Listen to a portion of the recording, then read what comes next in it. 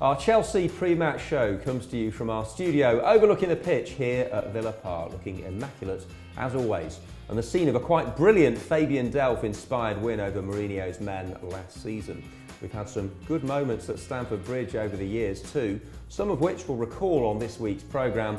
Let's hope for a few more on Saturday. Look out also for an interview with midfielder and pass master Ashley Westwood. This has to be just about the toughest test in the Premier League at the moment. Chelsea, top of the table, Froggy, and packed with world-class talent. Yeah, I mean, Jose's had a season already with Chelsea. He's, he's built, he's, he's brought all the players that he wants this year. All the jigsaw pieces are now in place. This team are that good that they will challenge for the Premier League title and I think possibly for the Champions League as well, especially with the manager in charge. He knows how to, he's a winner. He just knows how to win.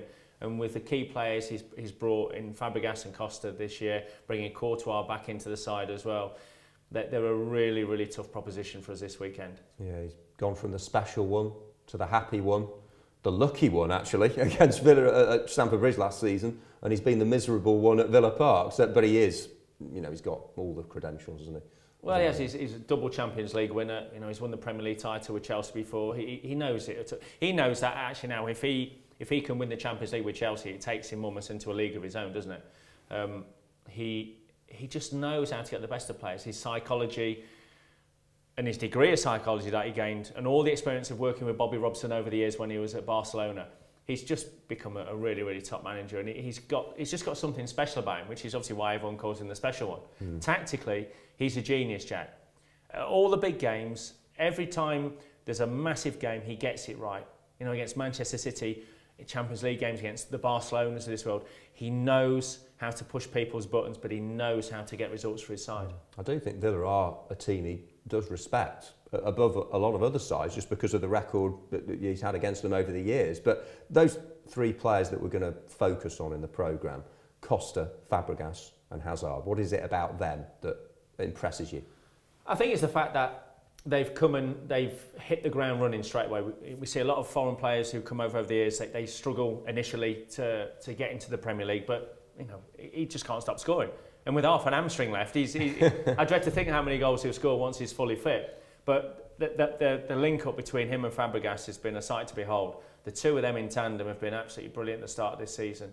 Uh, uh, with all the, the other experienced Chelsea players, they're going to score, score a lot of goals in the Premier League this season, particularly at Stamford Bridge. Yeah, Costa and Fabregas, and the third uh, of the trio, Eden Hazard. What a player he is! He can make things happen he's such a threat. Yeah, I mean Eden Hazard, you know, he's growing in the Premier League now. He's 23 years of age. He's going to be one of the one of the greats by the time Jose's finished with him. And I think Jose will mould him into the play he wants him to be, the hard-working talent, you know, that he wants him to become. Um, but when you're targeting players before a game, who do you mark? It's like which one do we mark? you know, you can't make special provisions for any one mm. player because there's so many of them. You just have to defend as a unit, work hard as a unit. I think, I think if you look at all our midfield and the defence, they're all going to have to work their socks off. And the boys up front, they're going to have to defend from the front to stop them getting the ball into into the, the quality and the players that they've got. So whether that means, I mean, two two solid banks to cut the space out, not to allow Fabregas and whoever else is playing in those areas to, to keep them out, mm. out. Funny how things work out. Fabregas, as a lonely youngster at Arsenal, befriended one Philippe Senderos, fellow Spanish speaker. They struck up a rapport, and Senderos is going to be a, a key man for Villa again, isn't he? He wants to evoke the, the spirit of Anfield and, and lead the lads to another win. Well, he has. Philippe has, I think he surprised everybody, Jack, with how good a start he's made to his career at Villa Park. He's been, I mean, he's been outstanding. He really has been outstanding. There were question marks from all quarters about him, you know, after his performances for Fulham last year, mm. and he struggled a wee bit in the World Cup as well. But he's just been simply sensational.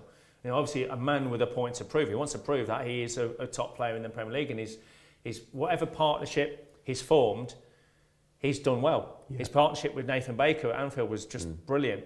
Um, so he, he'll be looking to continue his good work.